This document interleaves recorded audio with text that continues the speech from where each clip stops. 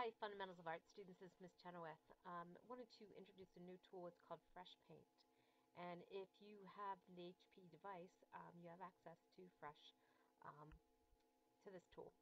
So we're going to go to uh, the Start menu and we're going to look for the Fresh Paint. Um, so here it is.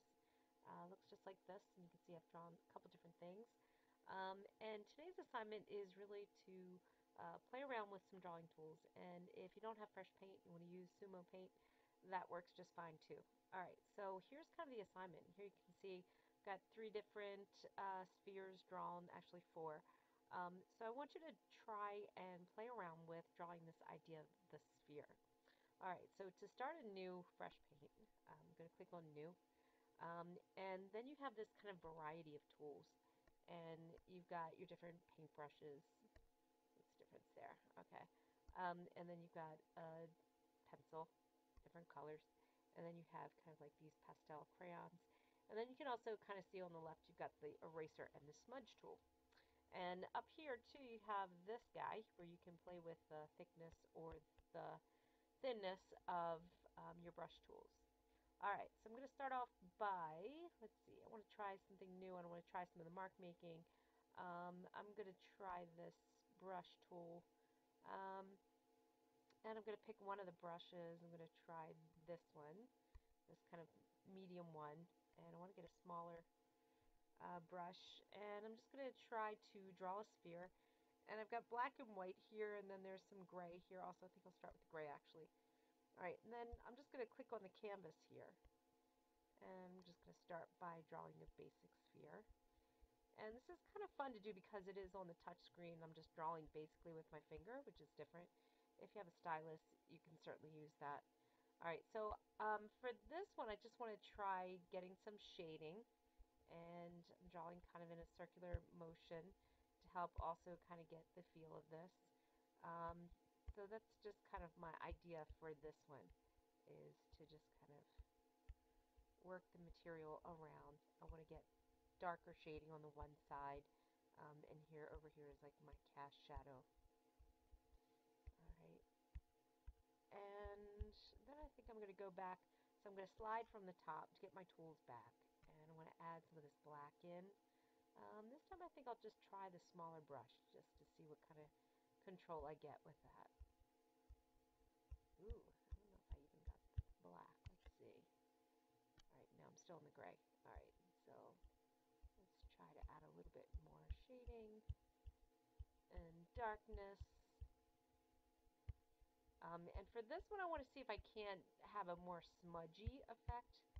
So after I get some of this paint value in, alright, you can see it's more like a paint. It kind of smears when I brush it in with the color that's kind of underneath. So I'm just playing around with some of that mark making and playing Alright, so again, it's just seeing what these tools can do, and it's an experimentation. So later in um, the course, when we are doing different um, art projects and ideas, you'll be able to uh, possibly select this as one of your um, mediums. Alright, so now I want to try this uh, blending stump, which is over here. So I want to see what happens when I do that. Ooh, okay, so that just kind of smears it all together. It's giving me this different kind of smeary effect. Um, and it's okay. I think I'm going to try. Um, it's not very smooth. That's okay. Not sure I like it. It's a little bit hard to control. Um, let me add a little bit of white in here, and let me use a brush. This time I'll just try a different brush, kind of brush. kind of neat. So I've got a different kind of a tip on this brush because it's square tipped brush. So I get kind of a different effect. Alright, and what I think I'm going to do is I'm going to come back with that smudge tool. So I'm just kind of playing around. Alright, so now it's going to smudge all those colors together. Except I think I want to get a smaller smudge tip. So let me go here and make it a little smaller and see what happens now as I smudge. Alright, so it's just kind of pushing all those pixels around. Um, and quite a different effect.